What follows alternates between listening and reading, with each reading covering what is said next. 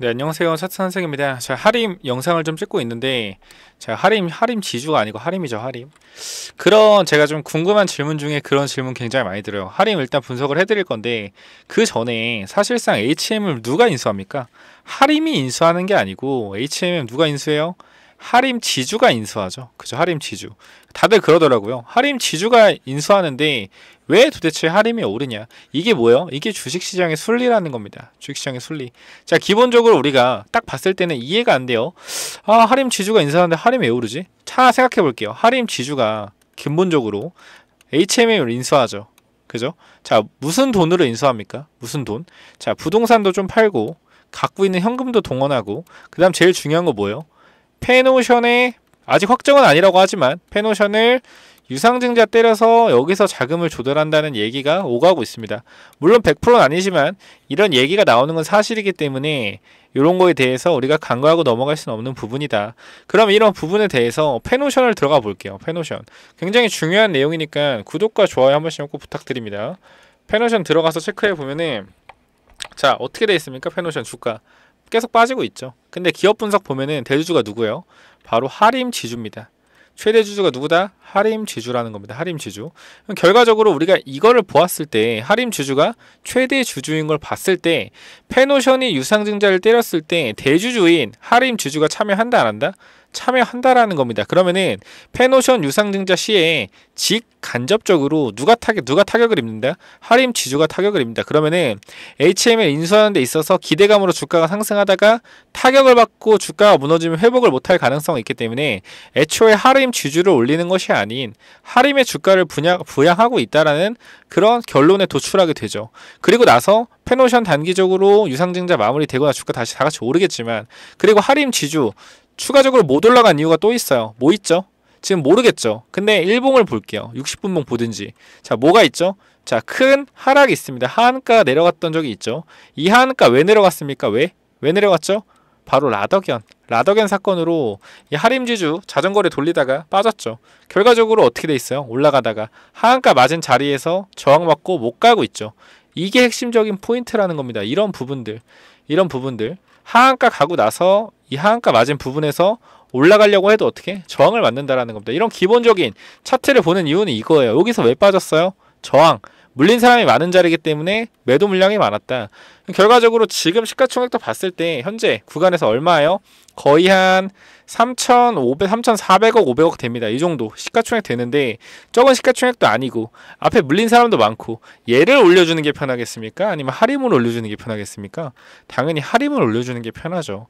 하림은 지금 구간에서 시가총액 1,600억밖에 안 되잖아요. 그죠? 유통 시가총 유통 주식이 1,000 4,300억, 4,300만 주잖아요. 곱하기 4,500 하면 얼마입니까? 거의 해봤자, 뭐 많이 해봤자 2,000억? 더 가볍다라는 거예요. 이 구간에 있음에도 불구하고 하림 지주보다. 그리고 하림 같은 경우는 직접적으로 유상 증자를 때려서 참여하는 게 아니기 때문에 그 유상 때려봤자 돈이 얼마 안 된다라는 보세요. HM을 인수하는데 얼마 됩니까? 6.4조인가 인수한다 그랬잖아요. 그러면은 하림에서 이거 유상증자 때려봤자 얼마나 때리겠습니까? 못 때려요. 시총이 높은 누구 때려야 돼요? 페노션을 유상증자 때려서 자금 조달해야 된다라고요. 결과적으로 하림이 올라가는 이유는 간단하게 나왔죠. 왜 올라가는지. 그러면은 HA 인수의 최고 대장주는 누가 되는 겁니까? 하림이 되는 거예요. 지금 구간에서 단기적으로 이 장대 음봉의 중심선, 이 장대 음봉의 중심선 넘어주게 되면 어떻게 된다 했죠? 추가적인 상승이 쭉 나온다라고 했습니다. 그럼 이 상승까지 단기적으로 이러한 부분들에서 흔들어주는 흐름이 나올 수 있고 제가 제일 중요한 5일선 부분 안 깨면 된다 했어요. 5일선. 5일선 꽤 체크하라고 말씀드렸습니다. 5일선. 보세요. 자, 봉을 비워보겠습니다. 자, 음봉을 전부 다 비우고 나서 체크해 볼게요. 5일선 지켰는지 안 지켰는지. 5일선 어때요? 5일선에 걸치면서 지켜줬다라는 거예요. 5일선. 오늘 종가상. 그리고 시간에도 올랐고요. 이거 다시 채우겠습니다. 이런 식으로 여러분들이 하나하나 체크해 가면서 움직이셔야지 수익이 난다라는 거고. 자 우리 이제부터 시간의 가격 분석해 볼 겁니다. 60분봉. 분봉 들어가서 시간의 가격 체크하면서 저항 부분 전부 다 체크해 보도록 하겠습니다. 자 볼게요. 시간의 가격 체크하겠습니다. 시간에 얼마요? 4815원 자 짧게 3분봉으로 보고 4815원 부분 그으러 가겠습니다 4815원 부근 자 어디죠? 이 구간이죠 이 구간 이 무슨 구간이요? 저항 구간입니다 빨간색으로 강하게 보여드리겠습니다 자, 3포인트 강하게 보고 자, 이 구간이죠. 결과적으로 여기서 시작한다라는 건데 여기 위에 뭐 있죠? 여기 위에 저항이 있죠. 거래량 터진 매물대가 있습니다. 그러면은 시초가가 만약에 높게 시작해서 이런 구간에 시작한다고 하면은 이런 구간에 시작한다고 하면 어떻게 되겠어요? 한번 밀렸다가 밀렸다가 어떻게? 밀렸다가 지지를 받고 나서 다시 올라갈 수 있다라는 것도 기억하셔야 됩니다. 그럼 시초가가 제가 봤을 때는 이 5,250원 위에서 뜨지 않는 이상 이건 어떻게 된다? 뺐다 가는 겁니다. 다시 한 번 말씀드릴게요. 시초가가 이 전고점 이상에서 시작하지 않는 이상 어떻게 되는 거예요? 이거는 이 구간에서 뺐다 간다라는 겁니다.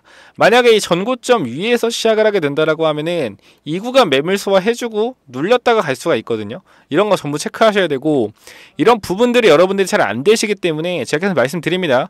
010 9201 6329. 자, 뭐라고 하라고요? 이쪽으로 자료 자료라고 두 글자 요청해 주시면은 제가 이 자료 관련돼서 여러분께 확실한 정보 전달 드릴 테니까 반드시 자료라고 보내주시고 아 난 자료 말고 어 이거 관련돼 가지고 솔직하게 조금 답변을 듣고 싶다. 텔레그램 방이나 소통하고 싶다. 좀 물려 있어서 소통하고 싶다 하시는 분들 마찬가지입니다 그냥 자료라고 두 글자 보내주시면은 자료에 제가 링크 넣어놨으니까 받아가시면 됩니다. 아시겠죠?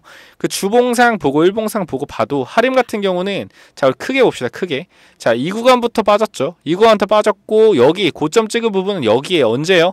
2011년 2011년의 고점을 2023년 12년 만에 뭐 했다? 찔러줬다라는 겁니다. 12년 만에 여기를 찔러줬다라는 거예요. 12년 동안 물린 사람들 있다 없다? 없다라는 거예요. 12년 동안 본전이 전부 왔다. 엄청난 주식이다, 지금. 여기 있는 물량을 누군가 다 받아갔다라는 거고, 하림 같은 경우는 계속 말씀드리지만, 신고가를 찍은 종목, 신고가를 찍은 종목은 눌리더라도 어떻게? 신고가 간다라는 거예요, 결과적으로. 여기 있는 물량을 전부 다, 전부 다 받아서 올라갔다가 내려왔다라는 겁니다. 나중에 이 물량 받아서 어떻게 해요? 내려갔다가 횡보하더라도 다시 올라간다라는 겁니다. 이거 분명히 기억하셔야 되고 하림은 이제 닭고기 파는 회사가 아닙니다. 하나 아셔야 돼요. 닭고기 파는 회사도 아니다. 아니다. 그리고 해상 운임비가 증가하고 있습니다. 해상 운임비. 해상 운임비가 증가하고 있어요. 요거 중요한 얘기예요. 자, 우리가 컨테이너 컨테이너선 계약 같은 경우는 1년에 한 번 진행합니다. 1년에 한 번 진행해서 만약에 내가 5월에 5월에 뭐 한 달의 가격을 예를 들어서 뭐 10달러로 정했어.